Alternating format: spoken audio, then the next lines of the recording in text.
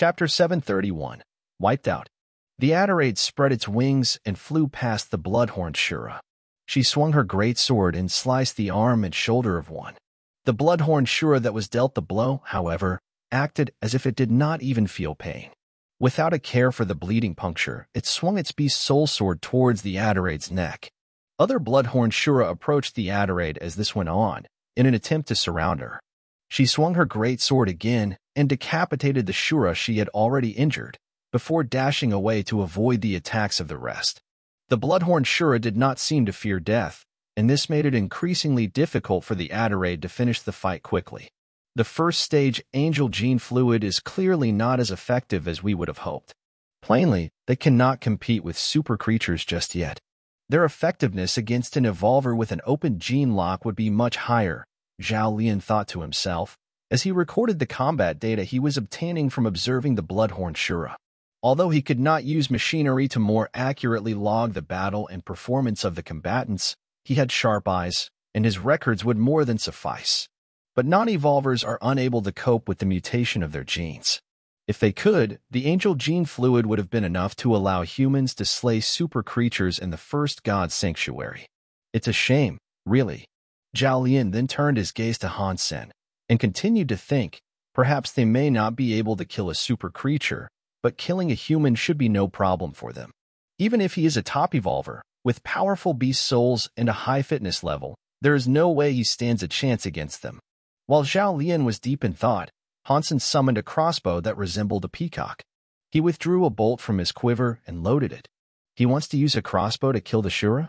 Pa, he is naive. With their speed, I doubt he'd be able to hit any of them, even if he had a Berserk Sacred Blood crossbow with Berserk Sacred Blood bolts. Zhao Lian raised his lips, confident in the Bloodhorn Shura. He had been in charge of the research program of the Angel Gene Fluid and was well aware of the terrifying power the subjects wielded upon consumption of the substance. Even elites with an open gene lock, upon facing one of these test lab Shura, didn't stand a chance. The only advantage such evolvers had were the skills of their open gene lock. But in every other facet, they would be inferior. The eight Shura surrounding Hansen began to swing their weapons toward him with bloodlust. Their power and speed made for a frightening combination. Eager to see what would happen next, Zhao Lian began to get excited. Experimentation and improvements to the angel gene fluid were still ongoing. It would only be deemed complete when they could remove its negative side effects, and humans could freely consume it. Once it was complete, the Zhao family believed it would usher in a new era for humanity. Zhao Lian was the lead of this entire project, and he would be recognized as the person responsible. This also put him first in line for trying the final product out. But in the next second, Zhao Lian was turned to stone. Despite the scary Shura surrounding him, Hansen raised the crossbow, which emitted a number of black flashes. The bolts pierced through each of the Shura's heads, one by one like the tumbling of a circle of dominoes. Eight of them were killed in no time at all. They all crumpled to the ground, none of them managing to get within two meters of the person they had sought to kill. How was that possible? No way.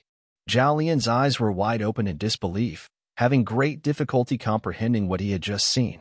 He did not understand how the Bloodhorn Shura could have been so easily killed by a crossbow like that. The super pet itself seemed to have a harder time killing its foes. Hansen is stronger than the super pet? That's impossible. That crossbow must be a super beast soul. It's the only explanation. Damn it. How can Hansen own something like that? How many super creatures has he truly killed? Zhao Lian quickly realized his mission today had failed.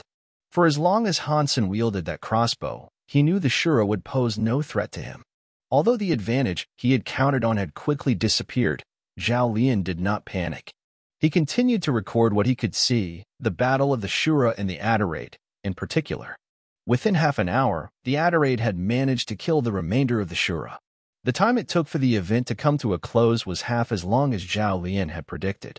As expected, these Bloodhorn Shura still lacked the required strength and skill to tackle super creatures. When the battle was almost done, Zhao Lian packed up in a hurry and got ready to leave the area. Hansen observed the dead bodies that lay strewn about and frowned. The bodies of the bloodhorn Shura, after being killed by the Adarade, began to rot quickly. Even the horns on their heads decomposed as their mangled bodies reduced to thick, bloody mush on the ground. It was a grotesque sight. What are these things? Hansen frowned. Clearly, they weren't creatures. But neither were they humans. And if they were indeed Shura, as he initially suspected, there was something different about them. Hansen's thoughts turned to Zero, but she was vastly different than these monsters, as well. Regardless of whether Zero was in human or Shura mode, she did not have a disfigured body akin to the creatures he had just fought. Her body cleanly represented either a human shape or a Shura shape. These things cannot be a natural creation of this world. Humans must have constructed these beings. Whoever created these and set them loose upon me obviously wants to see me dead. But who would do such a thing? Hansen frowned again. Angel Gene seemed like the most likely candidate, but Hansen had once offended the Dong Lin company before, too. And it was no secret how good Dong Lin was when it came to manufacturing such things. But there were more than two companies in the alliance that researched genes, so even though he believed Angel Gene was the most likely suspect, he couldn't be 100% sure. Hansen did not continue. Instead, he returned to the nearest shelter and teleported back to the Alliance. If his opponent was willing to do this to him, he was afraid of what they might do to his family. No one would dare come after him in the Alliance, especially now that he was counted as one of the G family. Furthermore, he was a member of the Special Squad. No one would come after him there. And after all, with the technology available there, discovering who might be after him would be far easier. It was different than the shelter. So, the first thing he did when he returned to the Alliance was try to contact his mother. He wanted to tell her not to spend much time in the shelter and remain in the Alliance for as long as she could. Or at least, wait until he arrived there to protect her. But when Hansen called his mother, he received no answer. This made Hansen's heart jump with worry. Hansen called Qin Xian and asked her to send a few members of the special squad over to protect his mother and escort her out of the shelter, if they could. Chapter 732 The Devil Doesn't Believe in Tears. Hansen was worried, as this wasn't like before. If his attackers were ordinary elites, then the special squad would have no issue protecting anyone. But the Shura he had encountered didn't even seem human. As such, Hansen was worried about the safety of his mother if she remained out in the shelter. Qin Xin heard what Hansen had to say and quickly contacted her supervisor, asking where Luo Sulan had gone. She was out in the shelter, and members of the special squad had escorted her on a hunt. Qin Xian told Hansen she had already sent people to find her, and she firmly believed it would not be long before they returned. The Blue Crystal shelter was near the Bukta Mountains, and Luo Sulan was out on a hunt under the protection of Wu Qi Gang. Although she already had a lot of Geno points, her combat skills and prowess were still somewhat lacking. She had not yet even been able to deal with a mutant creature. When fighting one, the frustration of watching her fight compelled Wu Qi Gang to help her finish them off. From what Wu Qi Gang could see, women like her were best reserved for being of the elegant sort. He thought she would be better off never touching a weapon, and instead being waited on, hand and foot, by men. He thought she should forego the desire for combat and stick to enjoying girlier things like flowers and romance. There was no explicit need for her to come out and hunt. With her son's power and position, he could just keep sending her the flesh necessary for her to max out her sacred Geno points. But every month, Luo Sulan would request an expedition to go out and hunt. She only wanted to kill ordinary mutant creatures, and Wu Qi Gang would always be fraught with the desire to help her when he watched her try to deal with the monsters she sought to fight. A woman such as her, he thought, was not built to fight, particularly not to fight such wretched creatures. Although Wu Gang felt this way, he never slacked in his duty to protect her. The last thing he wanted was for her to be harmed. He was aware that her son was also a member of the special squad, but the protection of others was a fundamental responsibility of all those who wished to be a part of the special squad. Anyway, Wu Gang would give his life to assure her security. Suddenly, a roaring sound came from the nearby woods. A black tiger leapt out of the brush, fast like a shadow. It's a sacred blood creature, a black shadow tiger. Why has it ventured here? Wu Qi Gang's face changed. Black shadow tigers tended to reside in the deeper recesses of thick forests and had no reason to be anywhere near here. Mrs. Han, hide behind me and do not flee. Wu Qi Gang stepped in to eliminate the mutant creature, removing it from the field of play. Then he walked in front of Luo Sulan. Seeing the black shadow tiger approach, Wu Qi Gang drew his long sword and ran to meet it. Wu Qi Gang could kill sacred blood black shadow tigers, but doing so would be more difficult while having to protect Luo Sulan at the same time. But then, more roaring came from the woods. Things took a turn for the worse as another two creatures emerged from the forest. It took Wu Qi Gang a moment to acknowledge what he was seeing, but when the realization struck, it struck hard. His face dropped, watching two more sacred blood creatures emerge from the woods. Mrs. Han, ride your sacred blood mount back to the shelter. I will keep them busy. Wu Qi Gang rushed into battle with the Black Shadow Tiger as he bid for Luo Sulan to escape. Little Wu, please be careful. Luo Sulan summoned the sacred blood Mount Hansen had given her and exited the area with haste. Wu Qi Gang's sword shone with a blinding light as he fought to buy her the time she needed to reach absolute safety. She had reached the bottom of the mountains, not a great distance away from the blue crystal shelter. Once she had left that place, she would be safe. But as Luo Sulan rode her sacred blood mount, nearing the exit, a dozen people appeared in front of her. They barred her passage and surrounded her mount. Mrs. Han, it would be best if you came with us. A leader of sorts stepped forward to speak, and as he finished his line, delivered a half-smile. Who are you people, and why should I follow you? Luo Sulan asked, frightened at their sudden approach. Do not worry, we do not plan on bringing you harm. We are here to bring you reunification with your son, the middle-aged man said. What happened to Little Sin? Luo Sulan quickly asked. You will know once you come with us, the man said, with a frosted tone. I'm not going with you, Luo Sulan said, as she nibbled her lips. Why do you even bother talking to her? Just capture her already. Another man coldly interjected. Okay, then, the other man then gestured with his hand, and the rest approached her. They knew all about Luo Sulan. She was a housewife who killed a few ordinary creatures to survive. She has been taken care of through the kindness of others, unable to fight for herself. They had already separated her from the assigned protector of the special squad, which meant capturing her would be an easy task to accomplish. You guys have parents. How do you think they would feel if they knew you were out here, attempting to kidnap a lone woman? Luo Sulan sighed as she spoke. Shut up. If you refuse to come with us peacefully, take one last look at that silky smooth skin of yours. Before we cut it up and drag you away with us, Zhang Fang coldly told her. To suffer in the adversity of evil is a nobler deed than to helplessly succumb to the brutish requests of those that wish to do you harm, Luo Sulan said. Then consider our patience and politeness spent. Excuse the rough mishandling that may occur next. Zhang Fang raised his hand and tried to grab Luo Sulan by her hair and pull her off the mount she was upon. Just when Zhang Fang's hand was about to touch Luo Sulan, she raised her silky smooth hand and casually waved it in front of Zhang Fang's neck. Plop. He was only two feet away, and Zhang Fang's head was removed from his neck as if it were severed by an invisible knife. The head went a great distance, as a trail of blood followed in its airborne wake. The eyes were sullen, and seemed to suggest that what had just happened wasn't fair. Have any of you ever felt hopeless? Luo Sulan's face was like ice.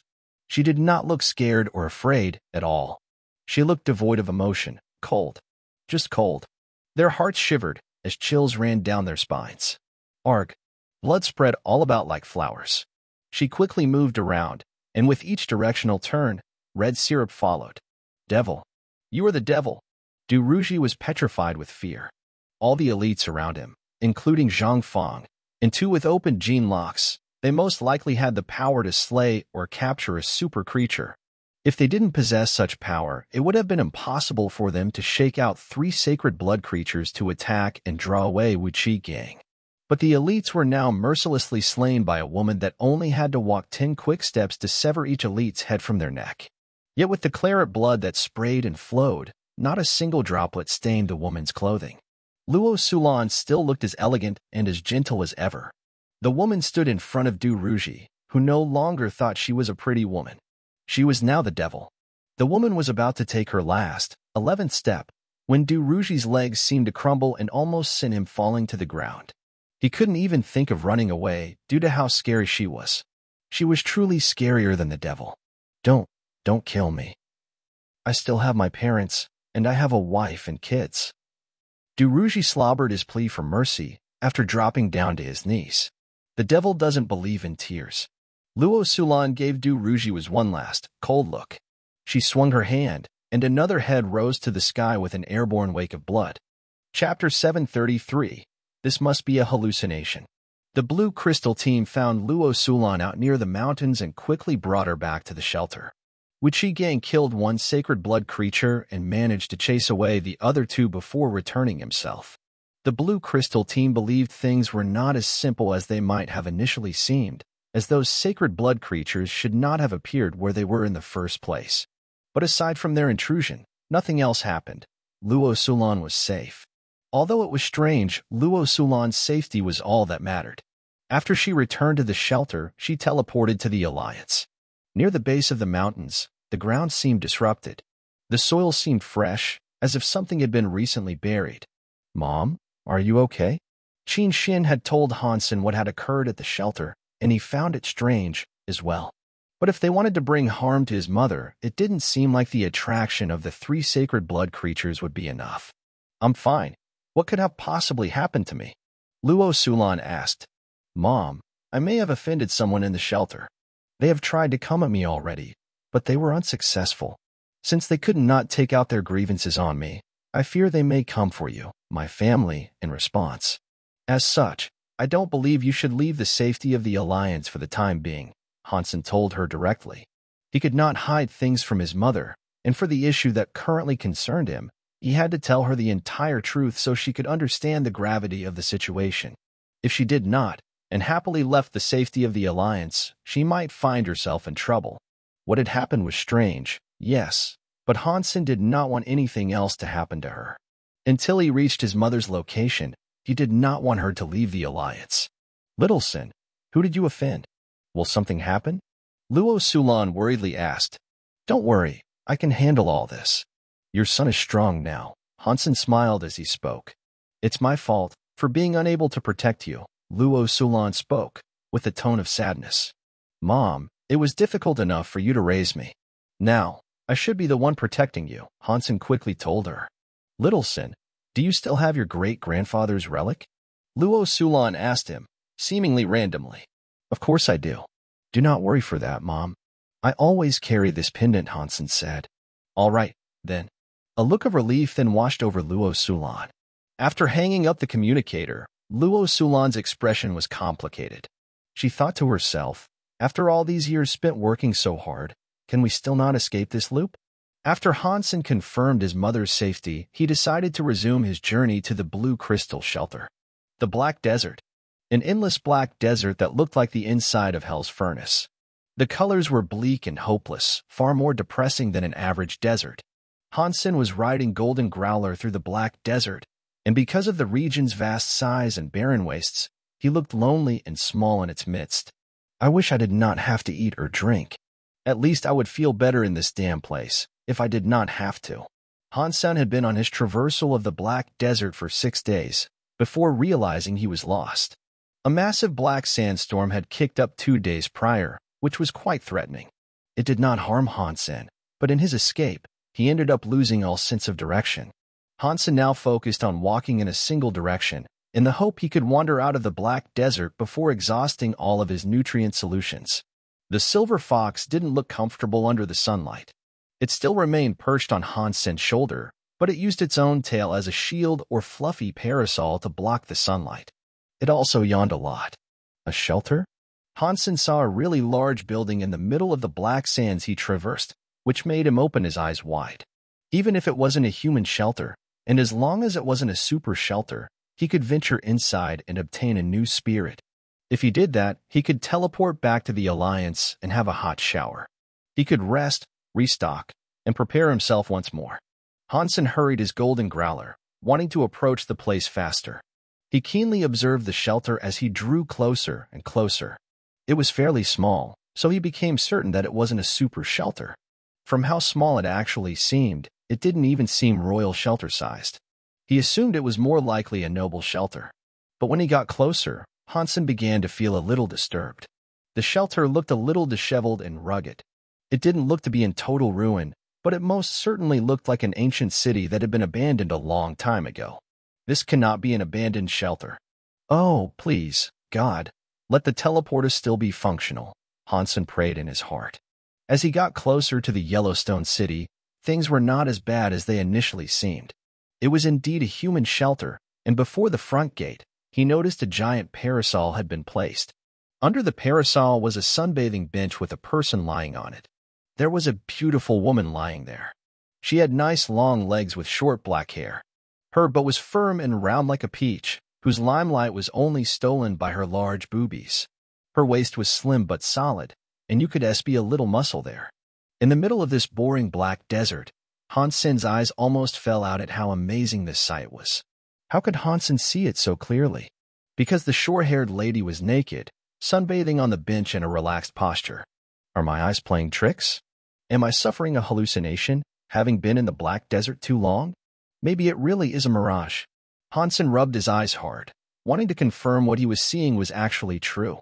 The Yellowstone City was still there. The parasol and the sunbathing bench were still there, as was the beautiful lady. But Hansen still did not believe it to be true.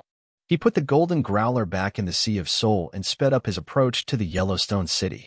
He ran there as fast as his legs could carry him, as Hansen got closer and closer, the image of the place he had discovered became clearer and clearer.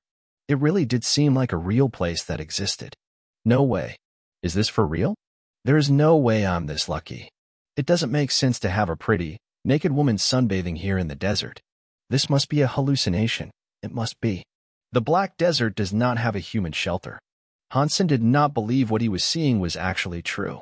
The beautiful woman lay in front of Hansen, facing down. She wore sunglasses, and beside her was some juice and snacks. She appeared to be asleep. Hallucination. It has to be a hallucination. Hansen was now in front of the short-haired lady. He reached his hand out to grab the woman's bubble but to confirm the validity of his vision, and was surprised to feel that her skin was smooth and bouncy to the touch. He could even feel the sunscreen that had been rubbed in. HM, maybe I was wrong. This does seem real. Hansen thought it felt really good, so he squeezed her, but some more. A second later, however, the short-haired lady woke up. She turned her head in a sleepy fashion and said, Little Orange, don't do that. I'm trying to sunbathe here. When her eyesight came into focus, and she saw Hansen with a hand still firmly clasped on her buttock, she completely froze. They both locked gazes with each other for a few seconds before the woman snapped, which led to a scream echoing across the black desert. Chapter 734 Spirit? Her beautiful legs were like two lashing dragons, attempting to capture Hansen like a pair of scissors. They looked ready to cut him down right then and there. Hansen kept evading her capture and tried to plead with the woman, saying, Lady, I have been wandering the black desert by myself for far too long. I thought I had encountered a mirage. I was only concerned with checking whether or not my eyes were playing tricks on me. Although he wasn't telling her the whole truth, he was never going to admit how he actually enjoyed playing with her But I'm going to kill you. The woman did not care for his words and continued trying to attack Hansen If you want to kill me, can you at least put on some clothes first? Hansen kept stepping backwards, talking to her. Things had gone a little haywire, and viewing her flailing naked body was getting a little awkward. The woman froze and screamed once more. The next second, the woman summoned armor to clothe her body. She gritted her teeth and resumed her attempts to attack Hansen Lady, you must believe me. I am a soldier with ethics. Hansen thought he had heard these words spoken somewhere before, and so he used them. The woman continued as if she were both deaf and mad, and her attempts to attack Hansen did not slow down. Lady, if you keep doing this, I will have to be rude. You won't be able to blame me for what happens next. It is daytime, and you are without clothes in public. Sunbathing or not, I am not the only person who would stop to admire you, Hansen said. Screw your public. Aside from you, what other perverts might be hiding around here? Huh, the lady spoke, amidst her frantic attempts to attack Hans Sr. Hansen just now noticed there was no one else in the city. Aside from the short-haired lady, the local vicinity was entirely dead. Even after using Dongxuan aura, he could not detect the presence of any other life forces in the area. There's only you here in this city? Hansen asked the woman while dodging and blocking her attacks. The lady no longer answered him and continued trying to attack Hansen Hansen's principles were simple. If he was able to explain a predicament first, he would. If he couldn't, fight first and talk later. Hansen then used one hand to grab the lady's leg and the other hand to grab her fist. Then he pulled and flipped her onto the ground. The lady used her other hand to try to fight back against Hans Senator. He grabbed the fist and pulled her arm behind her back. Then, he pulled out the platinum chain on his waist and tied her legs and arms together. After that, he picked her up in one arm. Asshole. Let me go. The woman was very stubborn and was not keen to give up. She now tried to use her teeth to bite Hansen, but from the way she was being held, she could not reach him despite her best attempts. When you calm down, I'll let you go. Hansen continued to hold the lady who had been tied up. He picked up one of her beverages and started to drink it. Cool. Hansen drank three of her beverages and belched loudly. You are an asshole, obscene and cheap. Don't touch my beverages. The lady became even angrier as she watched Hansen consume her drinks. Hansen ignored her and carried her into the city. The city was desolate. The ruined remnants of old stone houses were all that was there. Dust and sand had caked much of the ruins, and it looked like no one had lived there for many years. There was no trace of occupation to be found. Hansen proceeded towards the plaza. A small shelter like this did not contain teleporters in ordinary rooms, only public ones in either the plaza or spirit hall. The plaza wasn't very big, and the floor was comprised of many yellow tiles. It was rather clean there, as if someone had taken the time to clean up. But when Hansen saw the teleporter, he was disappointed. The teleporter appeared to be damaged and inoperable. Hansen walked deeper and deeper into the city, but found little more than lines of ruined houses, sand, and dust. The houses were only two stories tall, but there was a spirit hall. The spirit hall stood out amongst the rest, at four stories tall.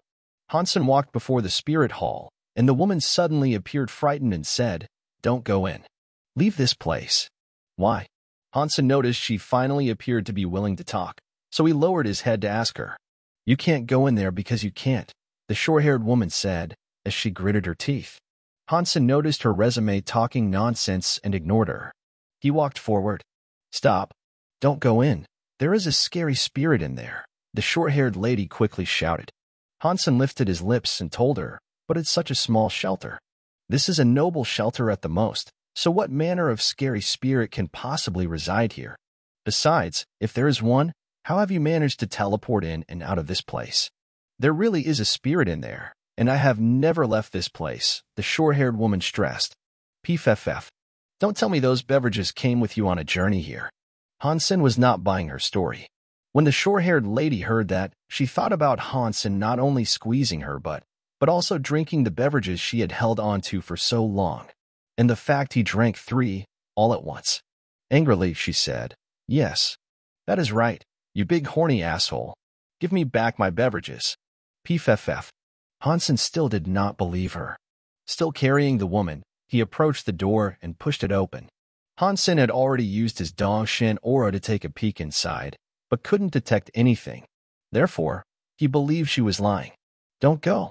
There really is a scary spirit in there, and you'll regret stepping inside. Let me go and die inside there all alone. Don't drag me down to hell with you.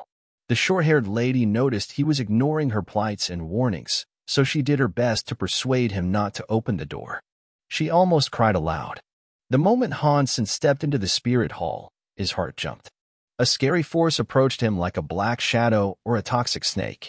Dong. Hansen held his flaming Rex spike horizontally and blocked the shadow-like snake. He saw what appeared to be an arm-thick, black chain wrap itself around his Rex spike. On the other side of the black chain, a person appeared to be holding it, clad in broken armor. He was impaled on a black pillar, and the chain he wielded led through his body and into the stone behind him. The man looked pretty but cold, and he had long, narrow eyes. He had two fox ears in his long black hair. He coldly looked at Hansen as his long fingers clasped the other end of the chain.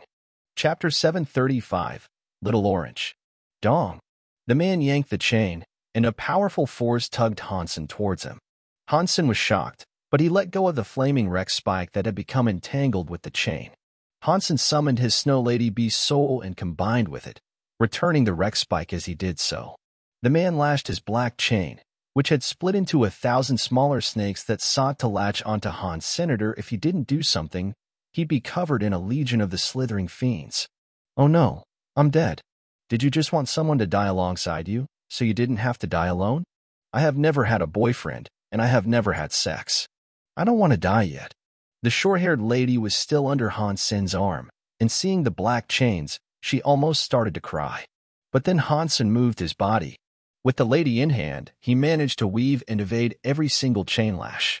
The attacker looked spooked, and so he lashed his chain again. The black chain that he wielded looked alive, and it turned into a toxic snake that tried to snap and bite Hans Sr. Hansen ran between the chains, and no matter how frightening the weapon was, it could not touch him. I'm going to die. I'm going to die. The short-haired lady felt like a passenger in a car, driving at top speed along a cliffside. Any second, the car might tip and send her plummeting to the distant ground below. The short-haired lady's eyes were starting to water. Hansen had the skills to dodge the attacks, however. If the short-haired lady had been left to her own devices, she'd have been snatched up by the chain in an instant. But still, being held by Hansen and having her life put entirely within his hands was more terrifying than anything else imaginable. Hansen's face was starting to look gloomy, though, and he was already pushing his Dongxuan Sutra to the max. All he could do was continue to dodge the man's chain, and no matter how much he tried, he couldn't find a window of opportunity sufficient for him to make an exit. This is a super spirit, that's for sure. But why has it been locked up in here like this? Hansen pondered the peculiarity of Spirit's situation as he observed the hall and between his evasions of the attacks. There was no statue in the hall, just one black pillar. There were two black chains that were each as thick as an arm. They were wielded by the Spirit, yes, but they were attached to the pillar through exposed wounds in the man's chest. The man had less than one meter leniency in movement, and the chain he used was one of the two that bound him to the pillar. Hansen used Dongxuan aura but was unable to observe the man's energy. Hansen tried escaping six times, but his withdrawal was prohibited each time by the chain. But still, the chain had yet to hit him, and Hansen's continued evasion was fueled by his simulation of Light Son of God's energy flow through Dongxuan Sutra. The fact that he was up against a chained-up super spirit began to grate on Hansen. However, he believed he should have had more than what it took to defeat such a foe and his inability to do so made him sulk. Still, he knew it would be best for him to try to escape right then, and so that was where he utilized his power. Every time he attempted to flee, he was pulled back for some reason. He didn't feel anything, but the short-haired lady was in tears as if she was riding a roller coaster. She had screamed so much, she had now lost her voice. With a sobbing, tear-drenched face, all she could do was helplessly remain carried in Hansen's arms.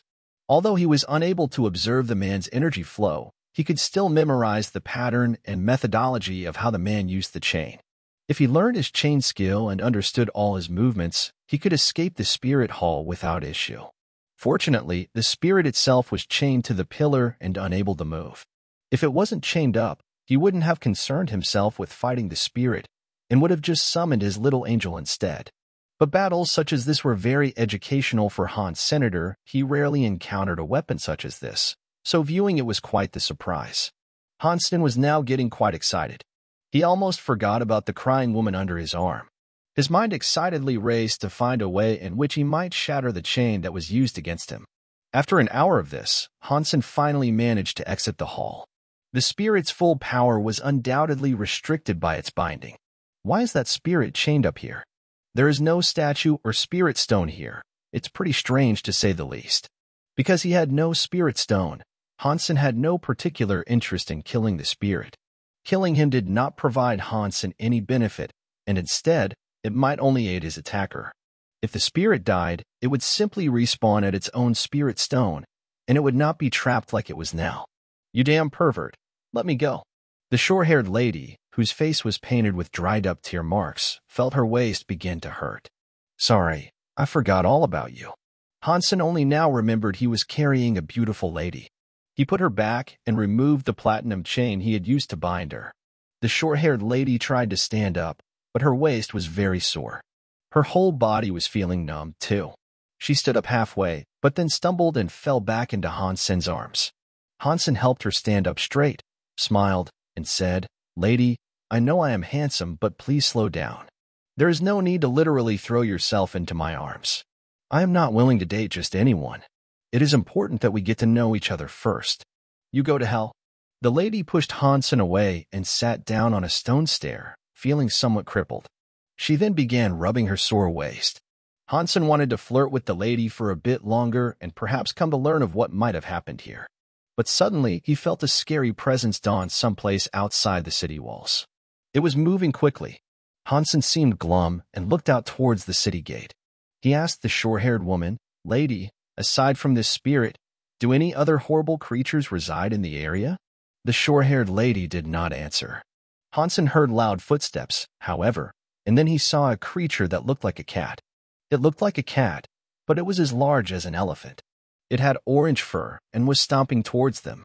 Hansen frowned. With the life force he could sense, he acknowledged it as a super creature.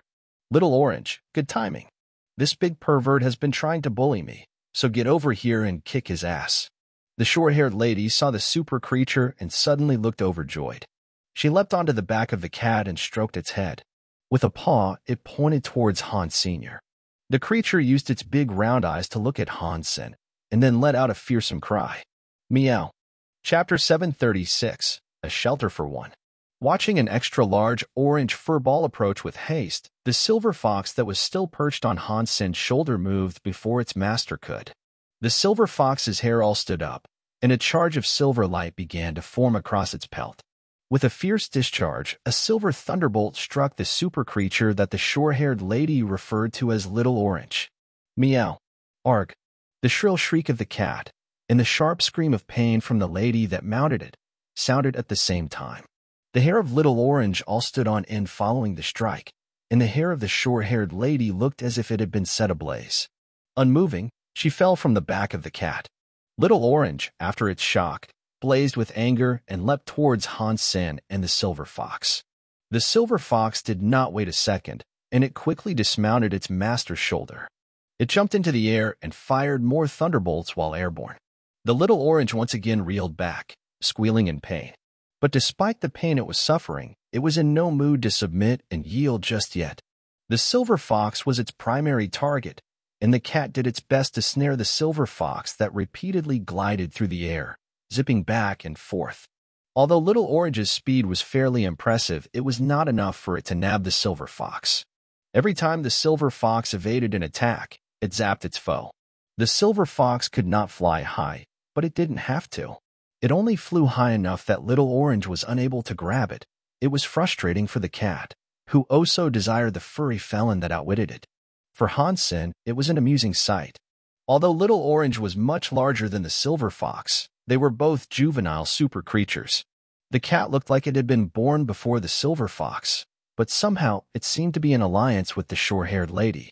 The short-haired lady was frozen while watching her cat get bullied. She was quite surprised earlier when Hansen managed to escape from the spirit hall without suffering harm. But now, she was even more surprised that the little pervert's silver fox pet could challenge her own.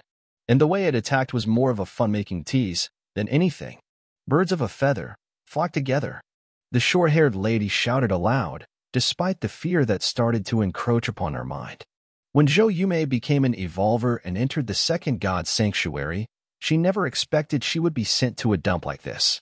Not a single human populated the region, and when she first came here, she witnessed a creature battling a spirit.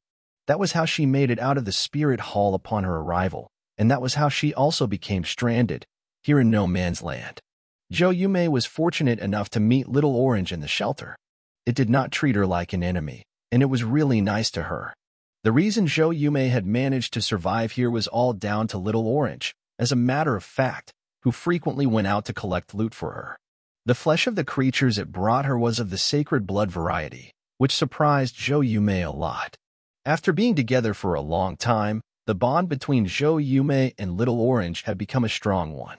They hunted together often, and she was able to witness how easily Little Orange slew such creatures. But this powerful Little Orange of hers was now getting bullied under an oppressive little fox, and she was starting to grow a touch worried over its well-being. Zhou Yumei turned to look at Hansen with her concerned expression, but she was surprised to see him already walking closer. He wore a smile, and a horny glint twinkled in his eye as he returned her a gaze. What do you want? I'm warning you. I am a powerful evolver. Keep your hands to yourself, and do not attempt anything stupid. Zhou Yumei asserted a battle position as she gave Hansen her warning. Her proclamations of strength were untrue, however, and the faint tone of power she tried to force did not work. She lacked the intimidation she desired. After all, she had been easily restrained by Hansen earlier, and now her greatest pillar of support, her pet little orange, was getting played with by the man's pet silver fox. It couldn't help her at all, despite its desire, and this started to make her panic. Let me ask you a few questions first. If your answers satiate my curiosity, I will forget that orange fur ball ever tried to attack me. Otherwise. Before Hansen finished his sentence, he laughed twice with a menacing tone. Otherwise what? Zhou Yumei's heart was struck with a chill after seeing Hansen laugh. Since there are only the two of us here, whatever transpires between us can only be kept like so. If I am in a good mood, I will rape you, and then kill you. If I am in a bad mood, I will kill you, and then rape you. If my mood is ambivalent, then I'll just kill you while I rape you, Hansen bluffed. When Zhou Yumei heard him speak those words, her skin flared with goosebumps. She forced herself to present a cute smile, and with a voice of pleading, she begged, Oh, big brother, there is no need for you to do something like that. We are both humans, aren't we? And in this grand second God sanctuary, we were fortunate to cross paths. Our encounter has to be one of fate. We should help each other, not antagonize each other. What is your name? Hansen gave Zhou Yumei a deep stare as he asked. My name is Zhou Yumei. I hail from a poor family of minor prominence. I worked my hardest to become an evolver, and I cannot believe I ended up here in this place. Not a single other person exists here, and it seems like I cannot leave. I almost died here. Meeting you was a stroke of luck, indeed. Zhou Yumei looked very pitiable right now. Put away the acting talent. You are very young and powerful to have joined the Second God Sanctuary. You must have maxed out your sacred Geno points to become an evolver. And you were saying you hail from a poor family? Hansen spoke with disdain. Zhou Yumei presented an awkward smile and said, Well, I'm all right. I'm poorer than most rich people, but I suppose I'm a little wealthier than most poor people. Just be honest with me. Do you think I won't hesitate to strip you naked and throw you into the spirit hall? Hansen gave her a grim face as he told her this. Okay, brother. I will tell you everything you wish to know. Zhou Yumei was spooked by Hansen once again. Hansen was then quickly educated on who she was and the relationship she shared with Little Orange. Zhou Yumei was quite something, and she was a councilman's child. Although there were many children in the Zhou family, not all possessed power. But being an evolver with maxed out sacred Geno points, at such a young age, suggested she was quite powerful amongst the members of her family. Hansen then learned all about Zhou Yumei and Little Orange's bond, which wasn't all too different from his with the Silver Fox. Such a thing was very rare, as creatures didn't often come to acknowledge humans as potential masters. Little Orange was a second-generation super creature, and Hansen knew this by observing its energy flow. The first generation, its mother, must have been the creature she had witnessed battling the spirit. Who knew what had happened there? Zhou Yumei then provided Hansen with some intel about various landmarks of the encompassing area that interested him. Chapter 737 To Escape or Not to Escape. The silver fox continued playing with Little Orange, getting it to chase itself around and around. While this was occurring, Hansen lay down on Zhou Yumei's bench. He drank another one of her beverages, and at the same time, asked her questions that piqued his widespread curiosity. Zhou Yumei's heart began to bleed when she witnessed Hansen resume drinking her beverages. She had been saving them for half a year, but she had to concede and allow it and answer every question Hansen posed. One can after another, Hansen drank. He had been traversing the desert for quite some time, and he had grown tired of the repetitive taste of nutrient solutions. Having long fancied the taste of something else, he couldn't quite help himself from taking her drinks. He had drunk so much that her coveted trove of drinks had now been depleted, and only one remained. When his devilish hands reached out to grab it, Zhou Yumei reached a breaking point. She could no longer restrain herself, and so she lunged out to grab the can. She quickly opened it and gulped it down in one large swig. After she was done, it was as if it had instilled her with a renewed confidence. She chucked the can away, looked at Hansen, and told him do whatever you want to me. I would rather die with dignity. Hansen took off the sunglasses he was wearing, which also belonged to Zhou Yumei, and looked at her face, which spoke of a willingness to accept death. Then he said, Your dignity is equivalent to the worth of a soda can? Zhou Yumei's face went all red. She had been stuck in this place for the longest time, and the drink and snacks she had kept were a suspension and fortification of her hope.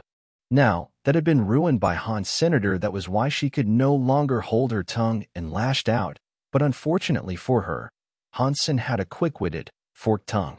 The words made her regret saying anything. Seeing Zhou Yumei hold her own tongue once more, Hansen hopped off the bench. This shocked Zhou Yumei. She took a few steps backward and asked, What are you doing? What? Must I report my comings and goings to you or something? Hansen smiled at Zhou Yumei. No, you aren't. Zhou Yumei's tongue tangled itself, tripping her words. She looked happy. If you really want to die, I can aid you in accomplishing this desire, Hansen said. No, you commit to your own deeds.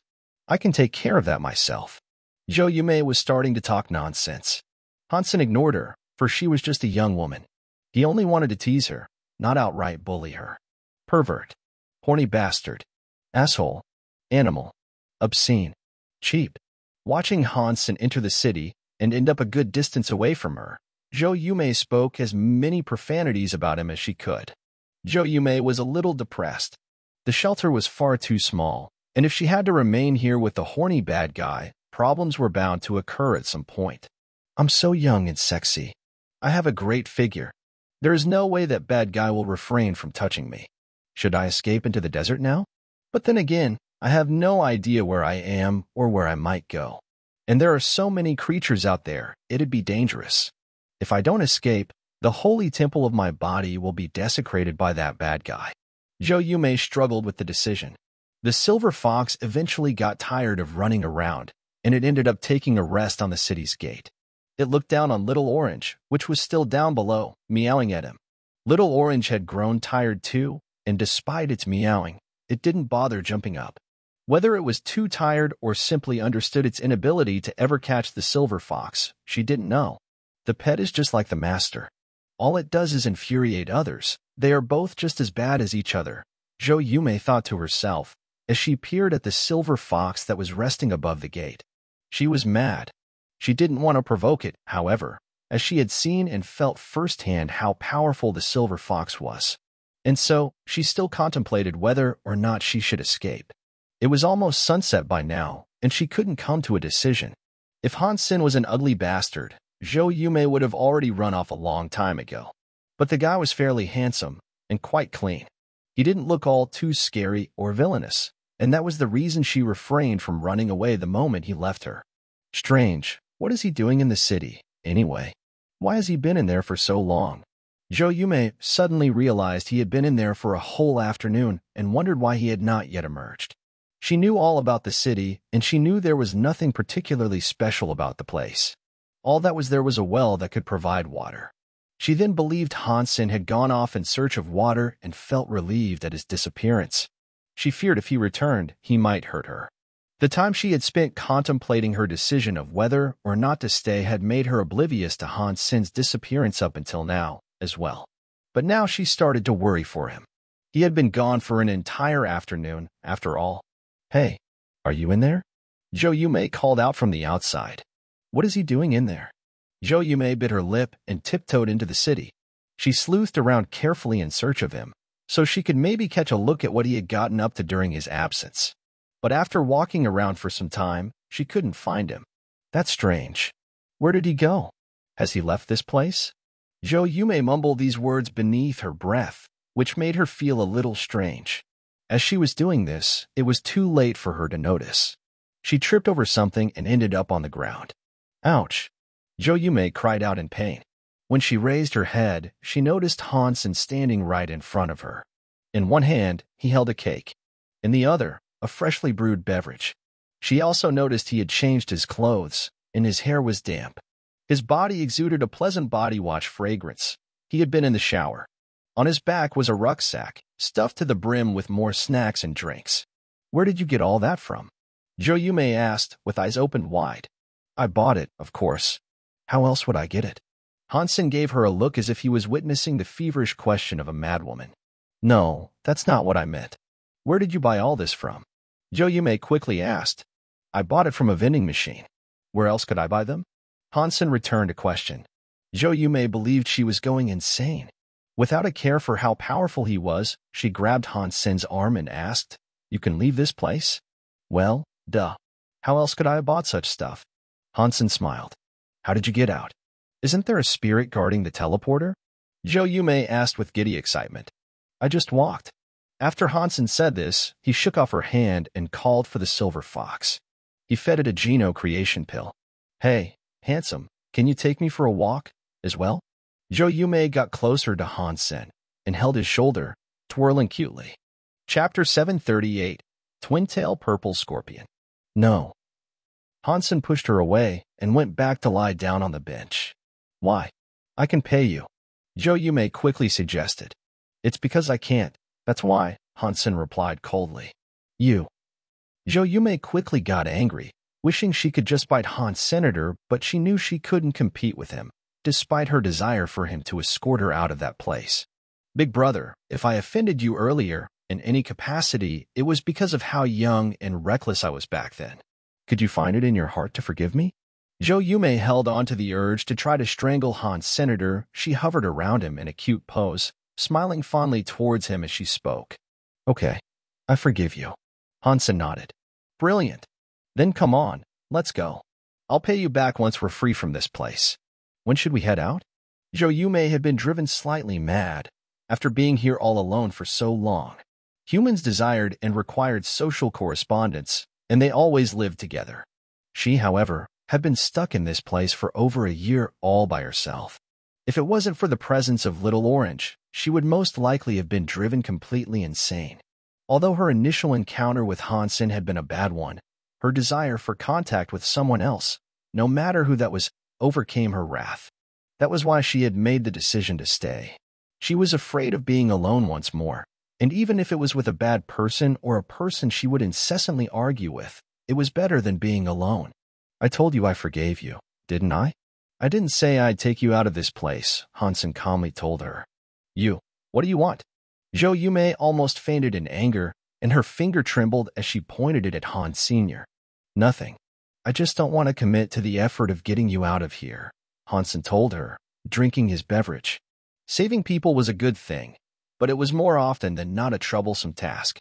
If he brought Zhou Yumei out with him now, the Zhou family would most likely be made aware of the connection he had with her.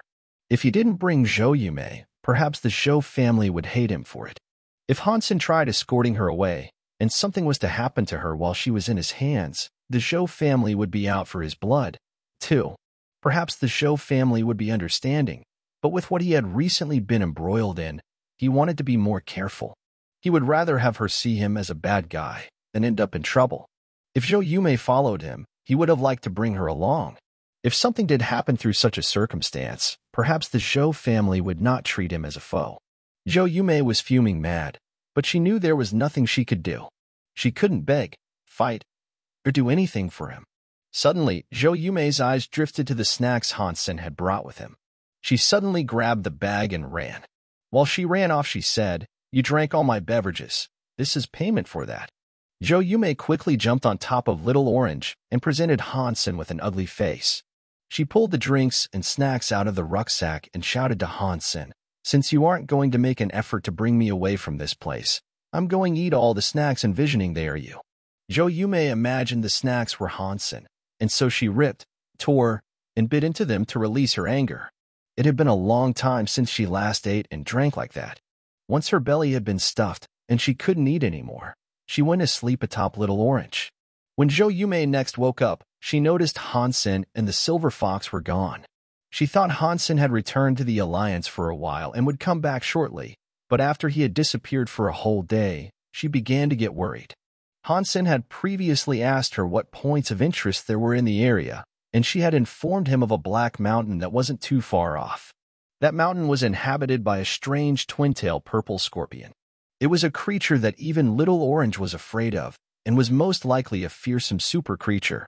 When Hansen heard of a lonely super creature out there, he had shown a feverish desire to slay it.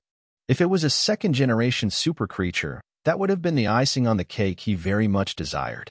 According to the directions Zhou Yumei gave him, Hansen had to walk 100 miles to just about see the mountain in the distance. The mountain did not have a sharpened peak and was more like a rolling mountain range. It was strange to see mountains lined up like so, out in a place such as that. Hansen rode his golden growler towards the mountain, and with the silver fox by his side, all the other creatures that inhabited the area hid. The creatures he did see, however, were not grouped as he expected.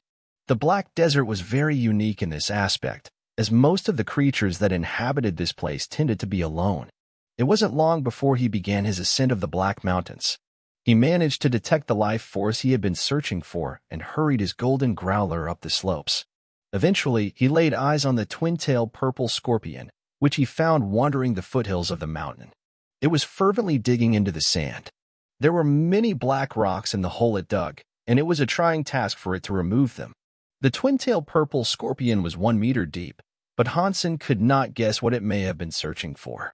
Hansen wanted to observe the twin-tailed scorpion's strange behavior for a little while longer, so he did not summon his little angel to immediately attack the fiend. For a better view, he climbed atop a 10-meter-tall boulder and then resumed watching the scorpion digging up the rocks. He had become quite keen. While watching, he opened his gene lock with the Dongxuan Sutra to observe its energy flow and assert whether or not it was a second-generation super creature as he had hoped it to be. Hansen was disappointed, however, the energy inside the scorpion was all blurred, and he could not watch the energy flow properly, which meant it was only a first-generation super creature. Since it was only a first-generation super creature, all he could hope for by defeating it was a beast soul. The life geno essences weren't useful to him, and only fronted a monetary value. Hansen didn't want to sell too many life geno essences, either, as they tended to make others jealous. The entire alliance was currently focusing on him like starved beggars admiring a spit roast. Unsure of what others were thinking, Hansen thought it was best to maintain as low a profile as possible. Let's see if I can get a beast soul, at least. Hansen stared at the twin-tail scorpion, knowing that the chances of obtaining a beast soul were low no matter which way it was cut. He had calculated that, even with his own luck, the drop rate for a beast soul was only around 50%. But Hansen was still quite curious, and he was keen to learn what the scorpion was doing.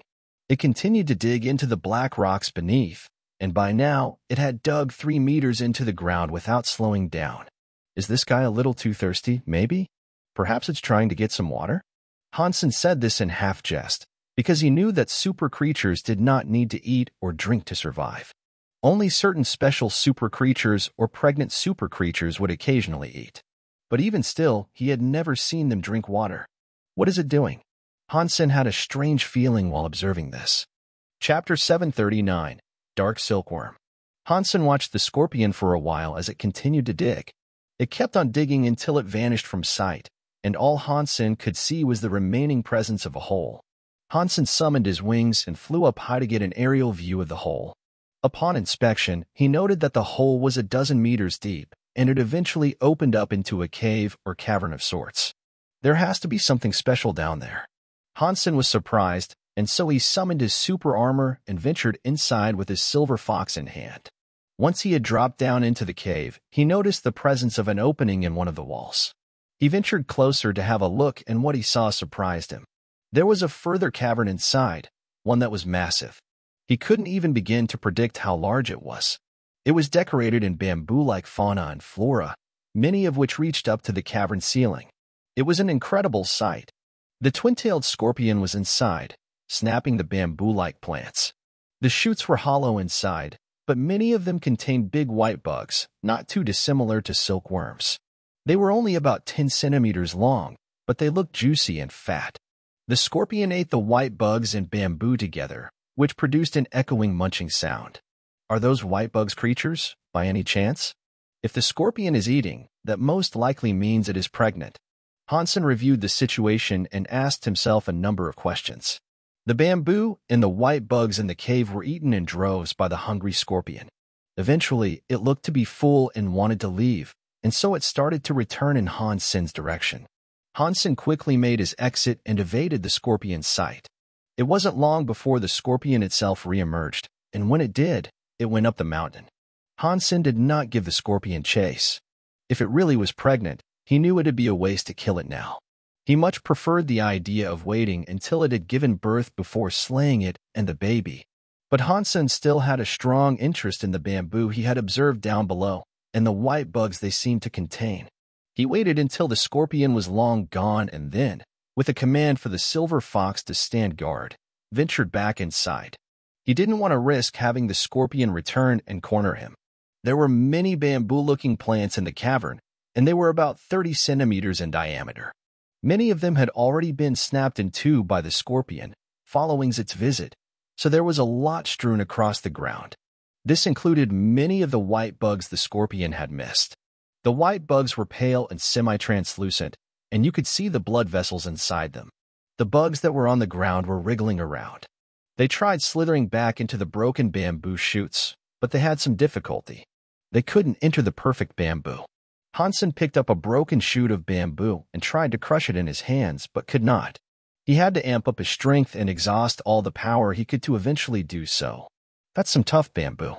Hansen threw the bamboo on the floor and then summoned his peacock crossbow. He loaded it with a Z steel bolt and fired it at one of the bugs that was trying to crawl its way into one of the broken bamboo ends. The Z steel bolt pierced through the white bug's body, which made it squeal and release a white fog. The temperature began to drop, and the little area around the bug got all frosty. The bug then froze, as if it had just been taken out of the freezer. Mutant creature hunted, dark silkworm. The beast's soul has not been acquired.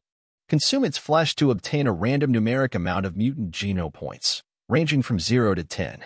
The voice rang in Hansen's head, which surprised Hansen. It's a mutant creature, but how can a mutant creature release frosty air? This is strange. I thought only super creatures could wield elemental attacks. Hansen was curious, and so he summoned his flaming Rex spike to kill more of the silkworms on the ground. Over and over, the announcement continued to pop. When the dark silkworms were killed, they each let out a frosty air.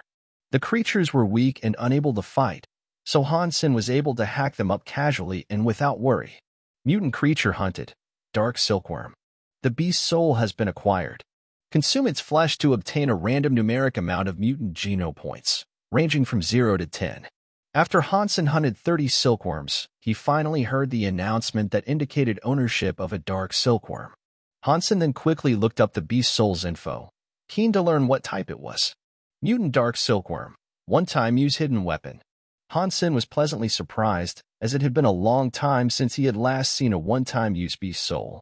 It was rare to find hidden weapon beast souls, and he wondered which one that might have been. Hansen summoned the mutant dark silkworm, which sprouted a big, white, and fat bug on the palm of Hansen's hand. It was rather heavy, he looked at it for a while, unsure of what it did. After some thought, he threw it at the cavern wall. Pang! The fat bug hit the wall and exploded. It unleashed a heavy, white mist. The fog's radius was about a meter, and the stone wall it had been thrown upon was caked in a layer of ice. This is interesting. Hansen was rather shocked while looking at it. It was just a mutant class beast soul, yet it could unleash a certain frosty power. This was not normal at all. I wonder if there are any Sacred Blood Class Dark Silkworms here? If I can get a Sacred Blood Class Dark Silkworm, it might come in handy. Hansen killed all the silkworms he could see, but was mildly disappointed to learn that each one was a mutant class variant. No matter how many he killed, it didn't seem as if sacred blood types existed. There were 60 dead silkworms on the floor by now, and after a moment of thinking, he used the flaming Rex spike to strike the bamboo. He watched how many of the silkworms came flying out of the bamboo. After killing a hundred more of the Wriggly silkworms, he managed to obtain another two mutant beast souls. But still, no sacred blood types. Never mind. Let me pack up the ones I've already killed and vacate the area. If I dry them up and grind them into powder, people who eat them will be able to increase their mutant geno points with ease. That's not too bad. Hansen used a bag to collect the hundred frozen silkworm bodies and turned around to go outside and dry them. There were many silkworms in that subterranean forest, and there seemed to be at least ten of them in every single shoot of bamboo. If he wanted to harvest them all, he couldn't imagine how long that might have taken. Hansen planned to temporarily give up killing the silkworms, wanting to wait until the scorpion came back, ate its fill, and gave birth. Once the scorpions had been dealt with, Hansen had the idea of returning here to harvest and collect the rest of the silkworms, free from possible intrusion. After Hansen picked up all the silkworms he had killed, Hansen suddenly heard a noise come from deeper within the bamboo forest. It seemed that something was emerging from further within. Chapter 740 Ice Silkworm Hansen put away his energy and immediately retreated, and then used his Jade Skin to unlock his Gene Lock. Although Dongxuan Sutra and Jade Skin were comparable after opening the Gene Lock, there were still some notable differences.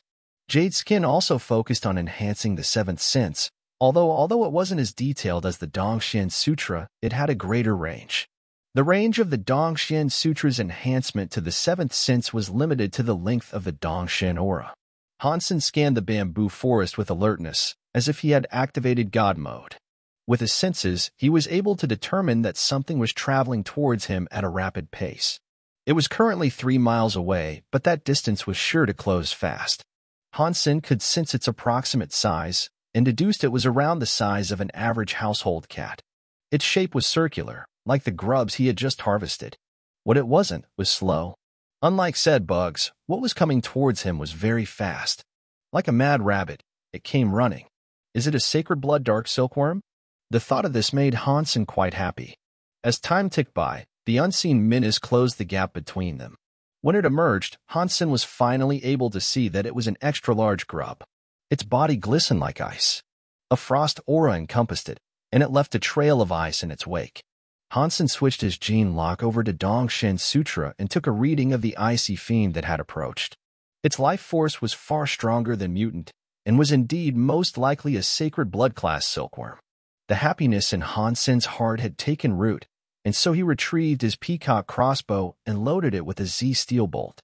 He took aim at the bamboo forest, and when it was close enough, He'd pull the trigger and swiftly end its life. More than anything, he wanted to see if there was a beast soul to be obtained from it. As the distance between Hansen and the ice silkworm got smaller and smaller, however, he started to feel as if something wasn't quite right. The closer it came, the stronger the life force of the silkworm became. It soon exceeded the measure of any sacred blood creature he had dealt with before. Is it a super creature? Hansen's face changed. He scanned it multiple times to gain a more accurate reading, but it still left him as puzzled as ever. It was definitely not a super creature. Berserk Sacred Blood? Perhaps? Hansen squinted his eyes. He rarely encountered Berserk Sacred Blood creatures out in the wild, so he was surprised at his discovery of one here, of all places. Watching the ice silkworm draw nearer and nearer, it had now come within 1,000 meters of Hans Senator. He refocused his peacock crossbow but then heard more noises from the bamboo forest. Rustle, rustle.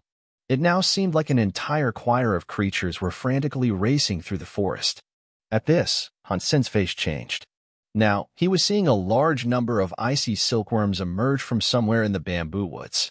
From his quick, initial tally, he managed to count a hundred of them. Impossible.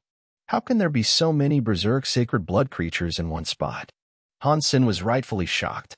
They didn't frighten him, as he knew they were of no match for him. He just thought the number of them was scary.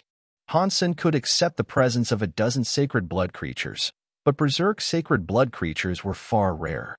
The ratio of sacred blood to berserk sacred blood was somewhere in the ballpark of 100 to 1.